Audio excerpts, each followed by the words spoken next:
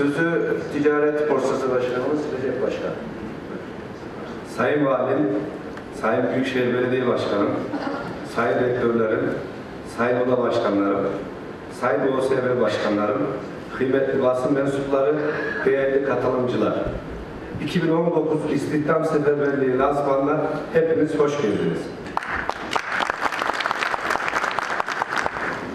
Bildiğiniz üzere 21 Ocak'taki Türkiye Odalar Borsalar Birliği Ekonomi Şurası'nda Cumhurbaşkanımız Sayın Recep Tayyip Erdoğan'ın iş dünyasına yeni bir istihdam seferberliği çağrısında bulundu.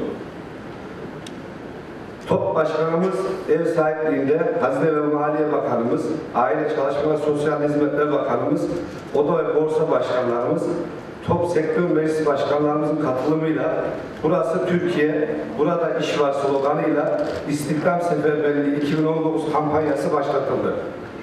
Buradan Kayseri'deki üyelerimize, işverenlerimize çağrıda bulunuyorum. Gelin bu tarihi teşvikten yararlanın. Böyle bir teşvik hayata geçirdiği için hükümetimize çok teşekkür ediyoruz.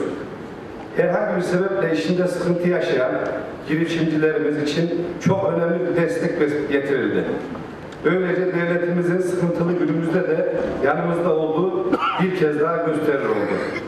Eğer bir işveren işinde sıkıntı yaşıyorsa, faaliyetleri durmuş ya da azalmışsa çalışanlarının maaşını 3 ay boyunca kısa çalışma ödeneği kapsamında işsizlik sigortası fonundan ödeniyor.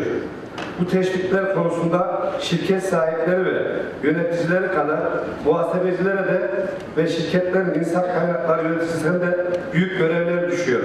İstihdam teşviklerinin en iyi anlaşılması ve uygulanması konusunda onlardan ekstra hassasiyet bekliyoruz. Bu topraklarda bereket ve umudu hiç kaybetmedik. Kaybetmeyeceğiz.